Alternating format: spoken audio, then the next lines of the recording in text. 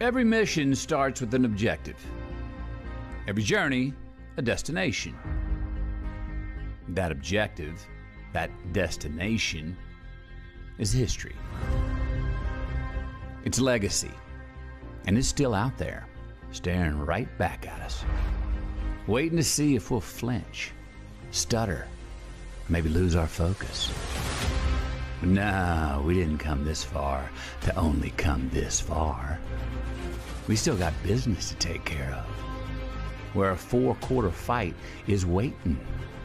60 minutes of punching the clock that will last long after the final horn blows and this farewell tour ends.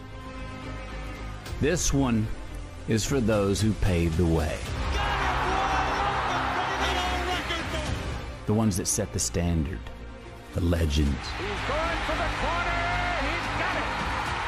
the icons that laid the foundation.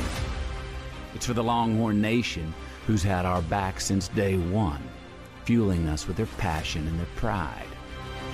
But most of all, this one is for each other. To show that the investment was worth it. To show ourselves and the world just what we're all about. You see, that's the destination. Complete the mission and leave no doubt. Because it's not over till it's over.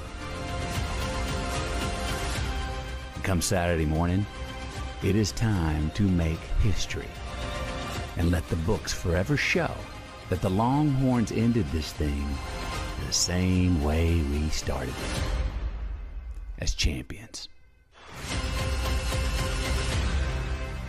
Hook 'em, baby.